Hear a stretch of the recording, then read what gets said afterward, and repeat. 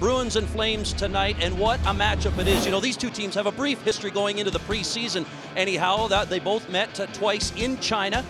A couple of interesting matchups there, but this time it is for real as the Bruins come in. That rush broken up, and here goes Tkachuk. Takes a peek, turns around, Backlund, passes, they score! Frolik back in the lineup, makes it 1-0 Calgary. What a great play by Matthew Tkachuk, buying a little bit of time, trying to figure out what he might want to do. And he tried to feather one through and never got the puck on net. Lindholm, Gaudreau, Rasmus Andersson, Noah Hanifin now. He shoots, Rask save, rebound, they score! Johnny Gaudreau! Overtime hero from Saturday makes it 2-0, Calgary.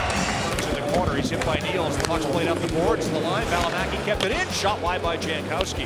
Michael Stone, he rips his shot. That's off the leg of the defenseman. There's a shot, they, they score!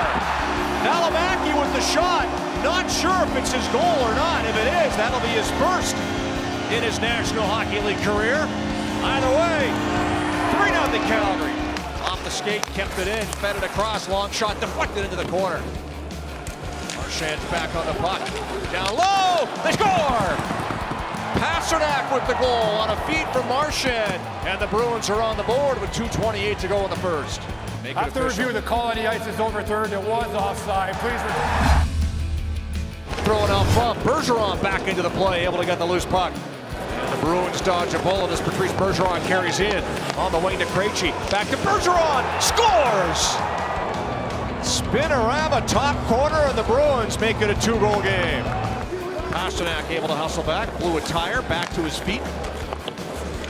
The boards to Marchand, stolen by Backlund. Frolik's in front, scores! Reunited, and it feels so good for Michael Frolik, his second of the game, and the Flames restore their three-goal lead. Pastrnak cuts it over the line. Here's a chance out front, Marchand scores! And that's how quick that line can do damage. Brad Marchand gets the goal and makes it 4-2.